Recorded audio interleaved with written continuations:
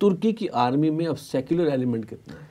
अच्छा इसे हम एग्जैक्ट फिगर आउट तो नहीं कर सकते। लेकिन अब ये देखें कि तुर्की जो है तुर्की के ऊपर एक बहुत बड़ा इल्ज़ाम है। वो इल्ज़ाम ये है कि वो नेटो फोर्सेस का हिस्सा हिस्सा है। दूसरा बड़ा इल्ज़ाम है उसके इसराइल के साथ ताल्लुकात हैं। कि तीन चार इल्ज़ाम बहुत बड़े बड़े हैं। हम्म। जो लोग ये इल्ज़ाम लगा रहे हैं वो उनका इल्ज़ाम एक हद तक ठीक है मगर हकीकत से थोड़ा दूर भी है। अच्छा। इसलिए कि वो ये नहीं जान रहे कि तुर्की एक सौ साल माहे का पाबंद है।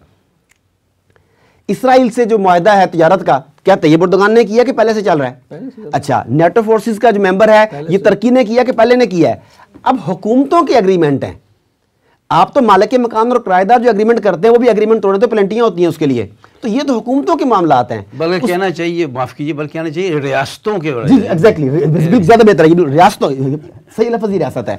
रियासतों के मामलात हैं तो आप उसे वायलेट नहीं कर सकते पूरी दुनिया आपके खिलाफ हो जाती है। तो 2023 में भी इनसे कुछ ना कुछ हमें आज़ादी मिलेगी। तो बता ये रहा था कि जब नेटो में उसके फौजी शामिल हैं तो मैं एक रिसर्च पढ़ रहा था फिर मैंने वजारत मजहबी अमूर के कुछ लोगों से मुलाकात की तुर्की में जाके तो पता चला कि अफगान जंग में अब तक तुर्की फौजियों के हाथ से कोई एक अफगानी नहीं मरा। अगरचे मगरबी मीडिया पंद्रह रिपोर्ट करता है। कुल।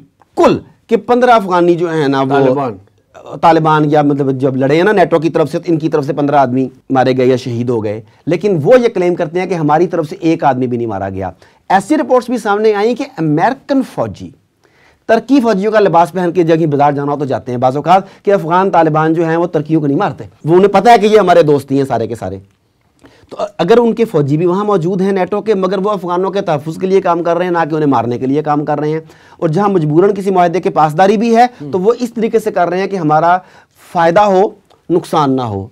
तो उसमें तब्दीली आ रही है नो डाउट हमने ऐसी कई वीडियोज़ देखी हैं जिसमें वो बाजमात नमाज़ अदा कर रहे हैं।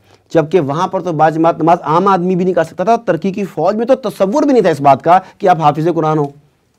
अब प्रेसिडेंट हाफिज कुरान है। और मज़े की बात है कि मैंने पढ़ा कहीं पे आप सही दोनों साहब तस्ही कर सकते हैं कि पाकिस्तान का चीफ जस्टिस हाफिज कुरान नहीं हो सकता। ये शर्त है? जी।